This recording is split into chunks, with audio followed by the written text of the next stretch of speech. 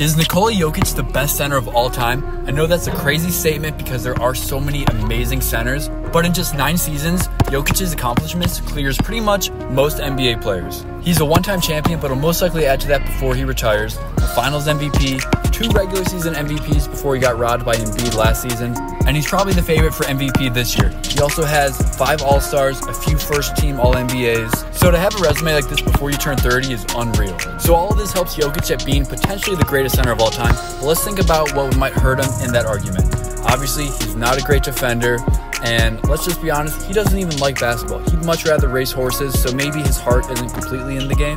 Regardless, we can't actually have this debate until he retires and we see his full body of work, but I think he'll definitely be a top 10 center of all time, maybe a top 7. Scratching the top 5 super tough, but hey, you never know. Drop a comment, let me know if you think Jokic is the best center of all time or if he's on his way to becoming the best center. I was super lucky. I was able to see Jokic about two months ago against my Magic. Thankfully, we beat him, but he put up a crazy 30 point triple double. The most impressive thing was how nonchalantly he dominated the game. I appreciate you guys watching, and please remember to like, comment, and subscribe. See you next week.